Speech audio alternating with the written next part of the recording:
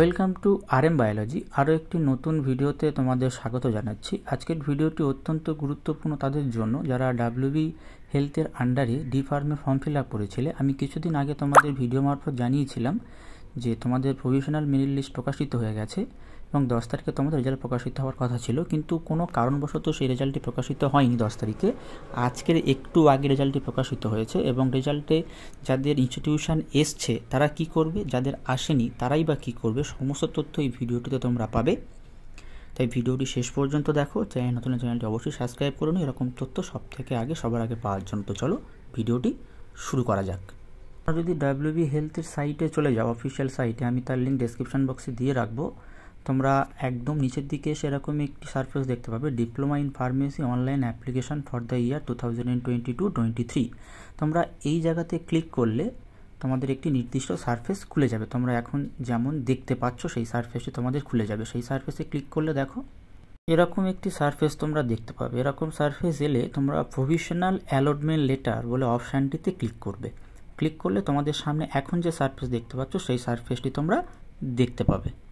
এই যে সারফেসটি তোমরা এখন দেখতে পাচ্ছ, এই সারফেসে তোমাদের নিজস্ব অ্যাপ্লিকেশান আইডি বা অ্যাপ্লিকেন্ট আইডি এবং তোমাদের ডেট অফ বার্থ দিয়ে প্রিন্ট অপশানে ক্লিক করলে তোমাদের সামনে তোমাদের কিন্তু র্যাঙ্ক কার্ডটি খুলে যাবে। যাদের এই রাউন্ডে কোনো অ্যালোকেশান হয়নি, তাদের কিন্তু সরি বলে একটি পপ আপ মেসেজ আসবে। তোমরা এখন যে সারফেসটি দেখতে পাচ্ছ, এটা একটা র্যাঙ্ক কার্ড র্যাঙ্ক এক ছিল। Institute name, institute of pharmacy Bankura, allocated category UR choice number one এবং রাউন্ড নম্বর ওয়ান। এরকম তোমাদের র্যাঙ্ক কার্ড খুলে যাবে। যার যেমন চয়েস আছে, যেমন ইনস্টিটিউশন নেম আছে, সেরকম কিন্তু র্যাঙ্ক কার্ডটি খুলে যাবে। তোমরা সেটা খুব সহজেই প্রিন্ট আউট করে নিতে পারবে।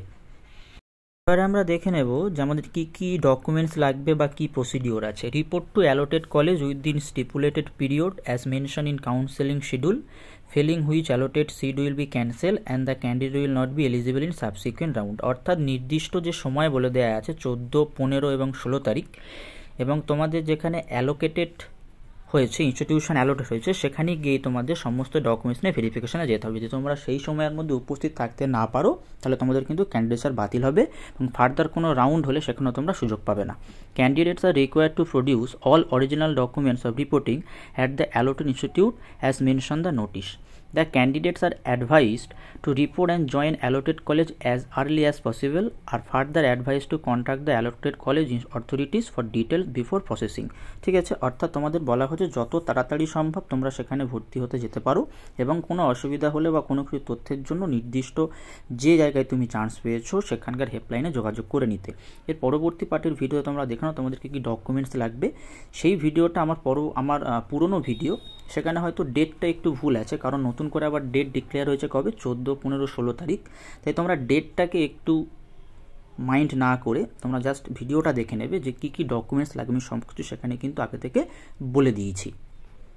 একটা রিসিভ ইস্যু করা হবে। The following documents will be required at the time of admission কী কী লাগবে?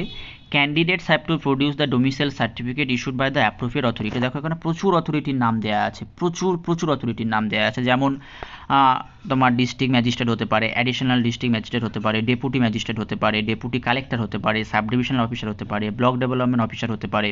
এরা কিন্তু তোমাদের দিতে পারে। এবং তোমাদের দেখবে প্রফার্মাটা এ ওয়ান আছে এবং এ টু আছে এবং একটা বি আছে। এ ওয়ানটা তোমরা এই সমস্ত আমি যেগুলো নাম বললাম তাদের কাছ থেকে করতে পারো। এ টুটা তোমরা কার কাছ থেকে করতে পারো? এ টুটা তোমরা করতে পারবে তোমাদের যে স্কুলের হেড অর্থাৎ তুমি যে স্কুল থেকে টেন প্লাস টু পাস করো তাদের কাছ থেকে করতে পারবে এবং প্রফর্মা বিটা সেই সমস্ত ক্যান্ডিডেটদের জন্য, যারা এখানে থাকে না, অর্থাৎ এ রাজ্যের বাসিন্দা নয়, কিন্তু তাদের বাবা কিংবা মা এই রাজ্যের বাসিন্দা তাদের জন্য। এবং সেগুলোও কিন্তু যারা এ ওয়ান তোমাদেরকে ইস্যু করছে, তারাই কিন্তু একমাত্র বিটা ইস্যু করতে পারবে।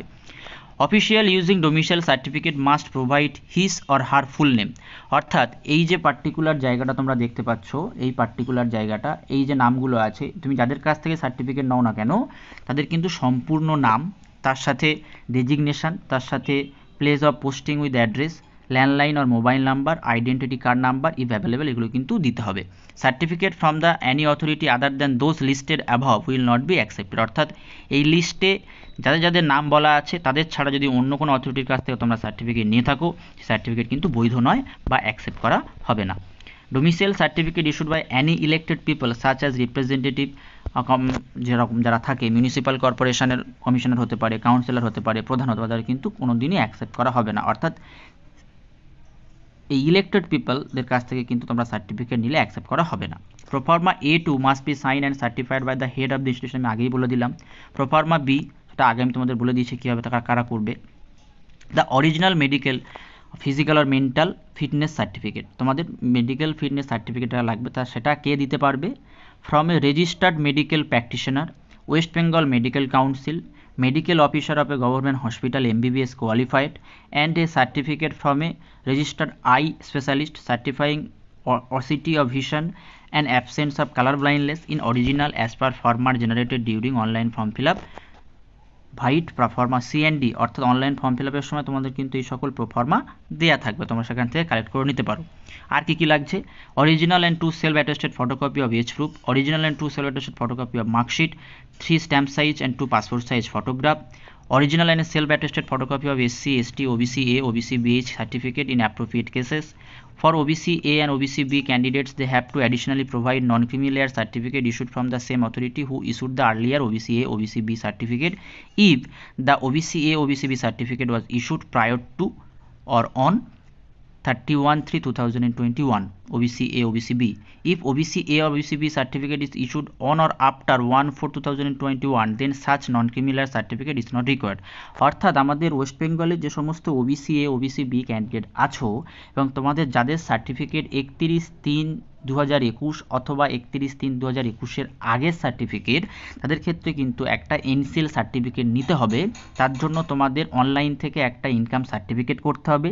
সেই সার্টিফিকেট অ্যাপ্রুভ হওয়ার পর সেই অনলাইন ইনকাম সার্টিফিকেটের সাথে তুমি কেন এনসিএল সার্টিফিকেট চাও, তার একটা দরখাস্ত করতে হবে এবং তোমার আগের ইস্যুয়া সার্টিফিকেটটা নিয়ে তোমাদের রেসপেক্টিভ এসটিও অফিসে গিয়ে তোমরা কিন্তু এনসিএল সার্টিফিকেটটা বের করে আনতে পারবে। এবং যাদের সার্টিফিকেট এক চার দু হাজার একুশের পর বা এক চার দু হাজার একুশে ইস্যু করা হয়েছে তাদের কিন্তু অলরেডি লেখাই আছে নন ক্রিমি লেয়ার উল্লেখ করা আছে, তাদের ক্ষেত্রে কোনো সমস্যা নেই। এবং যারা পিএইচ ক্যান্ডিডেট তাদের কিন্তু আগে একটা নোটিফিকেশান জারি হয়েছিল, সেই নোটিফিকেশানে বলে দেওয়া ছিল, তোমরা এসএসকেএম থেকে তোমাদের কিন্তু ভেরিফিকেশানটা করে আসতে হবে। যারা সেই ভেরিফিকেশানটা করে এসছে, দু তারিখে ছিল একটা, আট তারিখে একটা, দুই থেকে, দু তারিখে ছিল, তিন তারিখে ছিল যারা করে এসছো, তারাই কিন্তু পেজ ক্যান্ডিডেট হিসাবে অ্যাপ্রোপ্রিয়েট হবে, বাকিরা কিন্তু পেজ ক্যান্ডিডেট হিসাবে অ্যাপ্রোপ্রিয়েট হবে না। তারপরে একটা self declaration form must be produce in original in appropriate format during physical verification of all original documents at the respective college during admission একটা সেলফ ডিক্লারেশন তোমাদের লাগবে, সমস্ত কলেজে তোমরা যেখানে অ্যালোটেড হচ্ছ সেখানে। Fees to be deposited at the allotted college during admission কী কী ফিস দিতে হচ্ছে? অ্যাডমিশন ফিস পাঁচশো টাকা দিতে হচ্ছে টিউশন ফিস বারোশো টাকা দিতে হচ্ছে সেশন ফিস দিতে হচ্ছে একশো টাকা রেজিস্ট্রেশন ফিস দিতে হচ্ছে ছশো টাকা কশন ফিস দিতে হচ্ছে দুশো টাকা এবং হোস্টেল সিট রেন্ট দিতে হচ্ছে বারোশো টাকা। তুমি যে কলেজে ভর্তি হচ্ছ, যদি সেই কলেজে হোস্টেল থাকে, তাহলে তোমাদের কত টাকা নিয়ে যেতে হচ্ছে? বারোশো বারোশো, চব্বিশশো চব্বিশশো আর ছশো, তিন হাজার।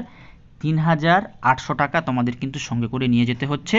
যদি তোমাদের হোস্টেল ফেসিলিটি থাকে, নাহলে তোমাদের কিন্তু কত লাগছে? ছাব্বিশশো টাকা কিন্তু তোমাদের লাগবে।